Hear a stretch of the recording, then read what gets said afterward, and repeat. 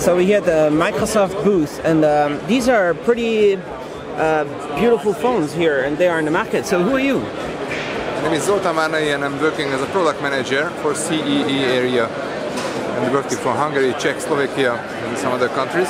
My responsibility area is actually I'm dealing with these phones and also I'm responsible to talk about this very very nice feature called Continuum. So was my friend. Cool. Hi. So who how are you you? doing? I'm Jonathan Lickis. I work in the technical sales team for our commercial division. Um, and yeah, we, we're showing Continuum for phone today. Continuum is awesome, right? Yeah. So how many people are using Continuum right now? It's like uh, growing fast, right? Well, we launched Continuum as a feature on our new 900 series flagship devices. So the 950 and the 950 XL are both capable of docking with the, the Microsoft Display Dock. And at this And show, Acer is launching Continuum also. Yeah, so Continuum is a Windows 10 mobile feature. So uh, yeah, so Acer has a device that's uh, running Continuum as well, uh, and I believe that there's some other you know announcements being made this week as well. So it's a it's an exciting Windows platform feature as well as coming to life on our Lumia device. So how stable is Continuum? How fast Yeah, does it it's go? pretty it's pretty good. I mean, so I have Is my it up to you in this very moment how, Yeah, sure. how you would like to try this? Yeah. So the main purpose of this experience is actually to show and prove you that uh, it's very hard uh, or in, almost unable to make a differentiation whether you are sitting in front of your PC or you're sitting in front of the continuum screen. It's a, so it's a full Windows experience, but without the .x files, right? So this is ARM-powered Windows. So, so exactly. This is this is running Windows 10 mobile, not the the full blown Windows 10 uh, desktop version. You can see that we, we describe it as a very much PC-like experience because things seem extremely familiar. Um, but you're right, you can't run those full Windows 32 uh, desktop applications. You can see the start menu looks extremely familiar. We've got the notification and action center on the, the right hand side. Um, but at the same time, you can see that this is still a phone. So, you know, on the top corner, you can see that there, there still is a signal strength bar. So, you know, this really is your, your phone. And uh, over there is the that experience over there with the notification stuff. So it's uh, fully smooth. You, it's never going to slow down, even though it's this is a, a Qualcomm uh, 810, right? Yes, so this is the uh, the octa-core processor, and in the 950, it's the hexa-core processor. Um, and these are the these are the most powerful Windows 10 uh, phones that we've we've ever built. But they're both both the different sizes have the same CPU, or there's a different the CPU? CPU has a slight difference. It's actually it's octa-core, the other one is hexa-core, but both processors are still quite much capable to make this kind of performance. Is it 808, the smaller one? Yep. So what's the difference in performance between the two? If, if we are running actually Continuum by the first sight, you don't see the difference. You don't see if you start a few applications, if you start maybe quite tens of applications. Does might see a Microsoft does Microsoft have a solution to uh, virtualize all the x86 apps, or is that not yet kind of, kind of like implemented? So we're we're we're tearing over. I think it's at the uh, at the other stand, but we're showing off um, today that we do have a, a universal remote desktop app in preview in the store at the moment. So that's a remote desktop app that, that scales across the full screen in the Continuum experience. I think we're showing off over there how you can remote desktop into another physical machine and how you can even remote desktop to some resources as well that you might be running on a server somewhere. And so these are the ways that we're starting to think creatively about how users might be able to use this experience to gain access to a, a Windows 32 type app experience. Because that's what enterprise customers are telling us that they want to be able to do. You know, they want to be able to use their, their Win32 apps using the Continuum for phone setup. So So this is kind of like the next generation Windows RT, right? Uh, it's like RT to the next level. RT was an ARM part at Windows already, and So this is this is running Windows 10 Mobile, you know, built from kind of the ground up for our for our phones, and yeah, it's still being compiled and built to run on the ARM chipset. Yeah.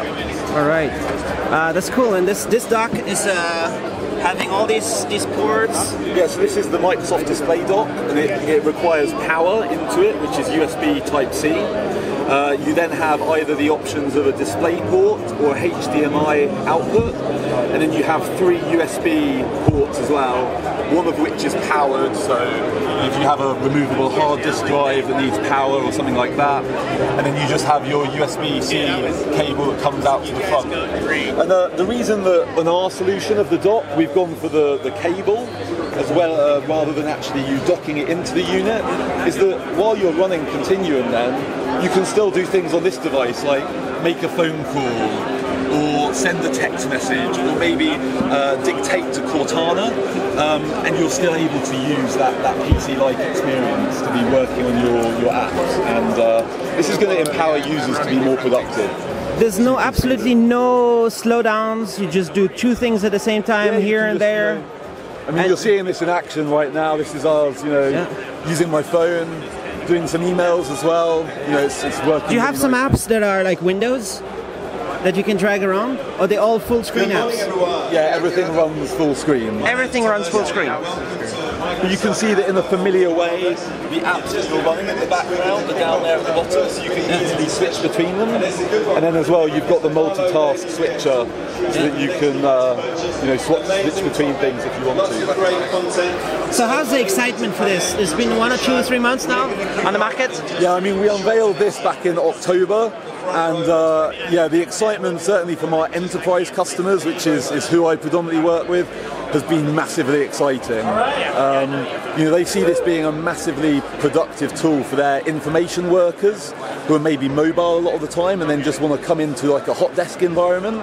And then if you think about uh, like task workers, maybe uh, police officers, people who are doing quite um, you know tasks where they're out in uh, you know retail stores even, um, this is going to be a fantastic tool to enable them to be productive. So, So all the Windows Phone apps, all the Windows Phone apps are working, right? all the Metro, everything Metro. So all of the existing Windows Phone 8.1 apps continue to work on the phone, but in order to use the Continuum experience for Windows 10 Mobile, they do need to be a universal app for Windows 10. So it needs to be a universal app that's kind of like the Metro API and stuff. Yeah, we, we're, we're calling it the Universal Windows App Platform now, but that's this app that has the ability to scale from the phone right across to the to the piece, uh, to Nice. the, the bigger screen. All right. And how many apps are there? Oh, that's a good question. I'm not sure what the latest count, um, but certainly we've been growing and growing. So can maybe follow up with Yeah. you to get you those numbers. you don't support all the Android apps, do you? Was there something about that? No, not at the moment. No. So we, we have some. Um, I mean, back at the, the developer conference last year, Yeah. we announced some tools to make it really easy for developers to bring their existing investments from other platforms to, to Windows. Um, and at the moment, we're, we're showcasing on our developer website the um, the iOS tool. So anybody is supposed to be able to just make apps for this. I Yeah, we're trying to make it as easy and simple as possible. I mean, back when we had Windows 8.1 and Windows Phone 8.1 and even the Xbox, you had to get hold of separate SDKs, you had to upload your apps to separate stores. We're trying to make it a lot easier now. We've got the, the universal Windows 10 SDK. You can use Visual Studio on you know Mac now and Windows devices to develop your app. Um, and then you can put it into into one store that's available across all of these these devices. And we've got about 200 million devices running Windows 10 now uh, across PC, tablet, and phone. And uh, you know our trajectory there, given we only launched. Uh, Last September timeframe, uh, we're on a really, really good trajectory. and it's the universal. I would say it's the universal architecture for the CPU. Like it's ARM. So once you develop, you optimize for the ARM. It's just going to work on this and that on the phone and the future Microsoft Smart displays and TVs and Yeah, you know, that's the whole idea of a universal app, right? This idea that an app developer can, can spend their time to create a great app once, and then it will scale uh, to work across all the different devices. I mean, I can show you an example of that here. Um, you know, I mean, when we talk about a universal app, it's a very simple example. Um, but if you have something like the settings menu, I mean, this screen here looks really, really familiar uh, to how it does on a, a phone. If I just show you here quickly. This is really, really nice and uh, similar to, to what it looks like on the phone. But actually now, if you scale that out, you can see that gradually the app adapts. And that's just a simple example, but you know, things like the People Hub, again, you would expect to be able to see something there, and as you change it, it scales as well.